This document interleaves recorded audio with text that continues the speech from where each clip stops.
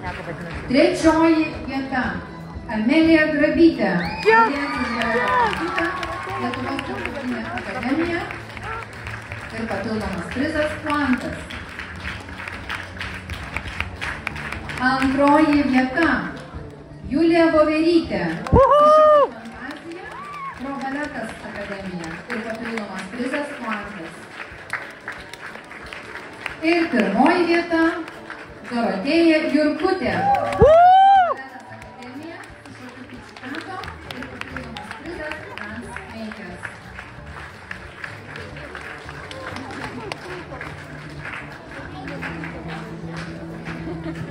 Mergaitės gražiai žiūrime į tėvelius, graži nuotrauka, šypsomės ir bėgame į savo vietas.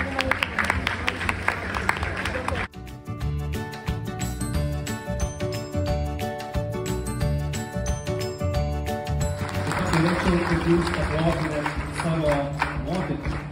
Ačiū Jums.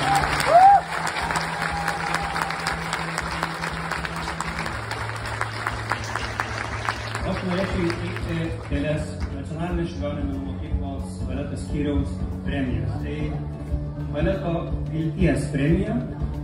Pirmoji skiriama Dorotėjai Jurkutei Pro baleto akademija.